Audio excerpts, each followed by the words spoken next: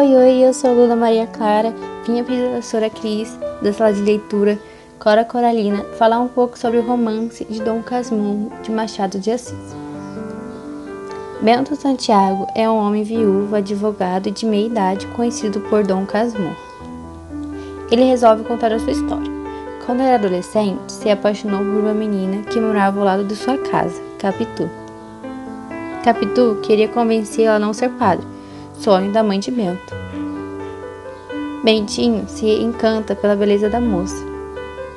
Depois de ter feito seminário, eles se casam. Anos depois, essa união começa a passar por crises de ciúmes. Bento se transforma num homem cruel. Logo se separam, com a alegação que Ezequiel, filho de Bento com Capitu, era filho de seu amigo Escobar. Bento envia seu filho para estudar na Suíça, junto com a sua mãe. Capitu morre na Europa e Bento vê seu filho apenas uma vez. Então Ezequiel morre numa viagem a Jerusalém. Agora que a gente já sabe um pouco da história, vamos falar um pouco sobre a descrição dos personagens. Bento Bentinho, filho único de uma família de fazendeiros de certas posses, mora com sua mãe tem história narrada desde os 15 anos até a velhice, quando reproduz suas memórias. Enquanto adolescente, mostra-se muito ingênuo e passivo de manipulações. É tímido, introspectivo, sensível e bastante imaginativo. Adulto, mostra-se equilibrado e acomodado com a situação financeira e familiar, com exceção dos seus ciúmes doentio. Na velhice, aparece cético, pessimista e amargo, porém sem problemas de consciência. Capitolina Capitu, filha única de Pado e dona Fortunata. Sua trajetória é narrada dos seus 14 anos até a morte.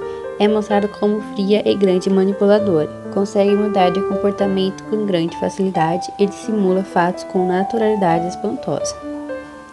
Muito observadora, nada lhe espanta. Inteligente, aprende facilmente tudo que se propõe Determinada, leva seus objetivos até o fim. Bonita, alegre, porém com comportamento moral impreensível. Filha, mãe, nora e amiga dedicada e amorosa. Escobar, rapaz bonito, alegre e elegante. Amigo de Bento desde o seminário. Torna-se também amigo de sua família e de Capitu, melhor amigo de Bentinho.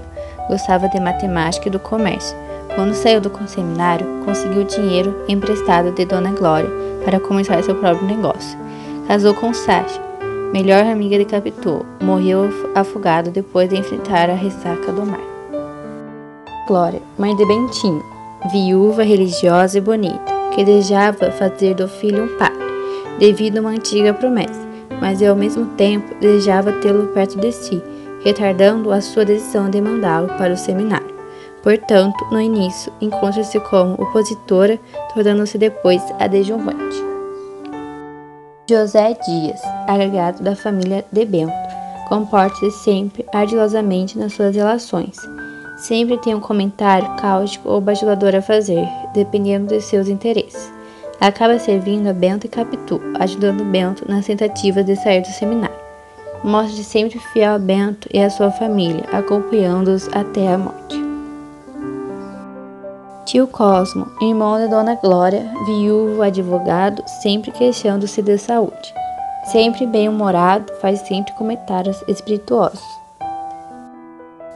Prima Justina, prima de Dona Glória, viúva, mantém-se sempre neutra nas causas familiares, apesar de sempre encontrar um comentário negativo sobre situações e pessoas. Sancha, casada com Escobar, mais limitada e menos vital que Capitu. Sancha é seu oposto, como fica claro no Fogás incidente com Bento Santiago, quando ela recusa a dar o passo que levaria além dos limites impostos à sua condição de mulher casada.